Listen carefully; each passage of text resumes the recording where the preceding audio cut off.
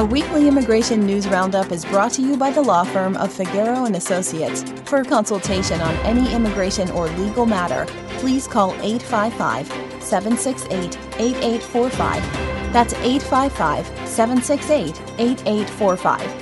For full stories and more immigration news, visit www.theimmigrantsjournal.com. That's www.theimmigrantsjournal.com.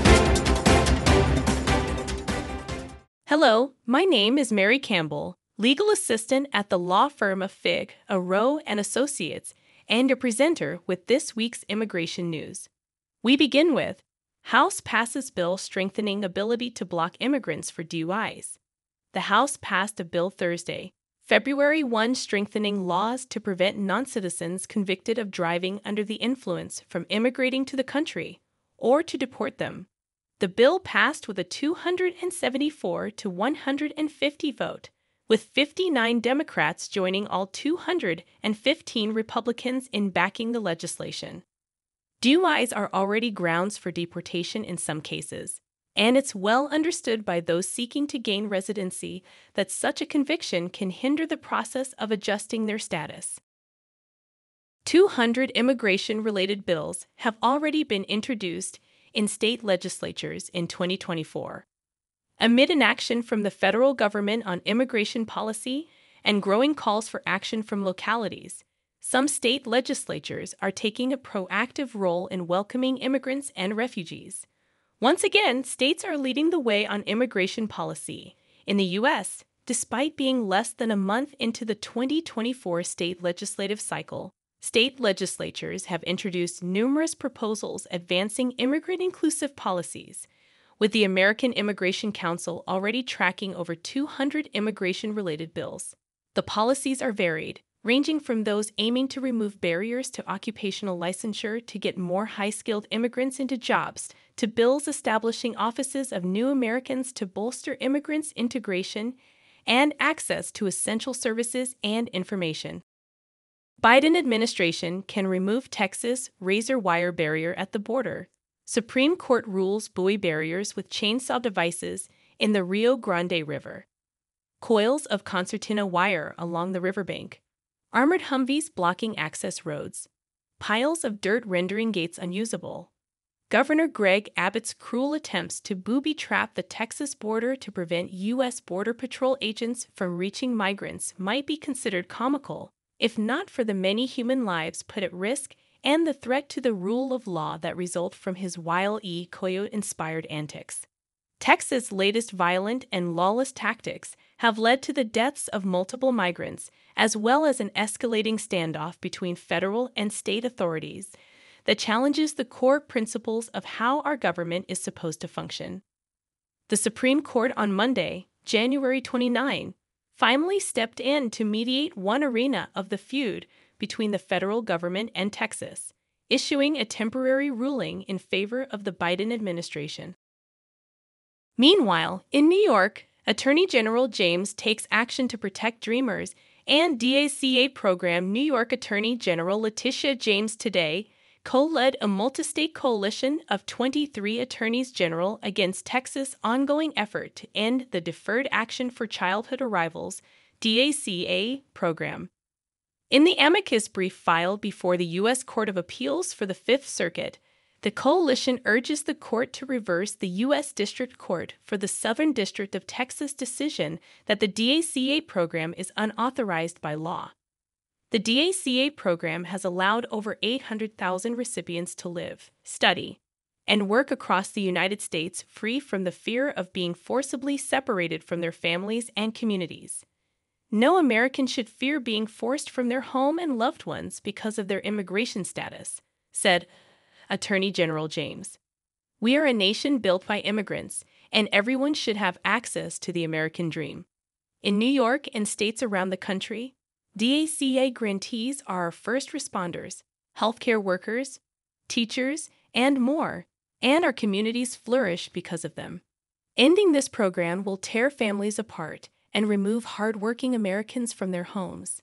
I am proud to lead my fellow attorneys general in this tireless effort to keep our residents safe.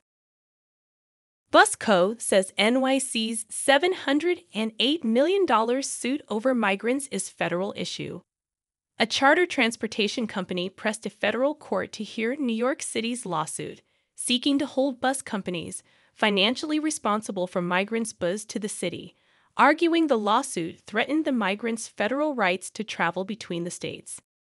New York advocates and researchers highlight new data on positive economic impact of new NYC immigrants. On February 1, advocates highlighted newly released data by the Immigration Research Initiative on the economic prospects of new arrivals and their positive contributions to New York City's economy. Researchers from the Immigration Research Initiative will explain their findings, which estimate $23 million in total wages and $2.6 million in state and local tax revenue is generated per 1,000 migrant workers within their first year. Advocates pointed to these numbers as proof that immigrant New Yorkers uplift our economy State and city leaders must invest in legal services to ensure new arrivals can find pathways to work. The challenges associated with newly arriving immigrants are real, but they are largely temporary, said Anthony Capote. Immigration Research Initiative. Our research shows what so many researchers and advocates already know. Immigrants are resilient and capable of tremendous economic mobility.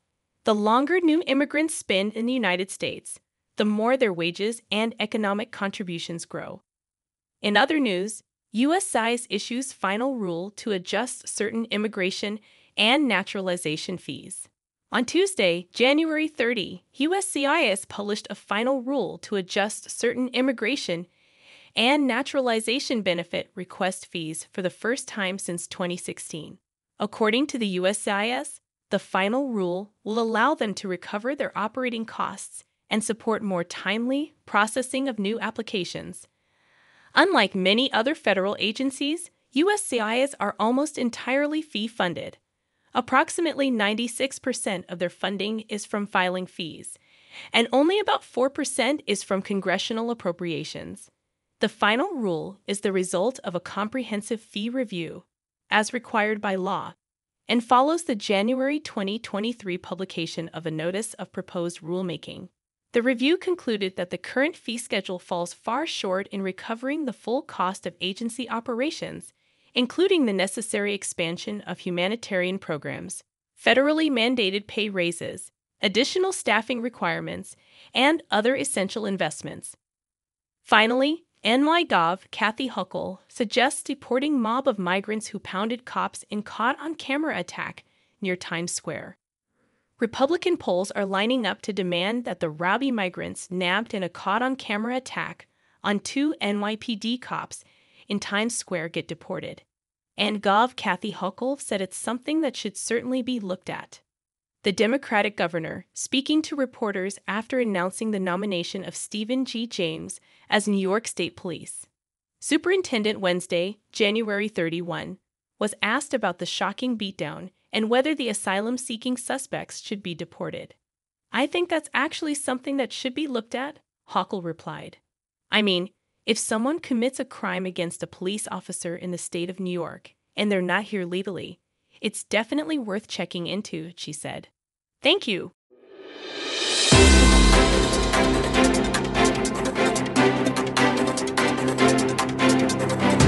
Our weekly immigration news roundup is brought to you by the law firm of Figueroa and Associates. For consultation on any immigration or legal matter, please call 855-768-8845. That's 855-768-8845.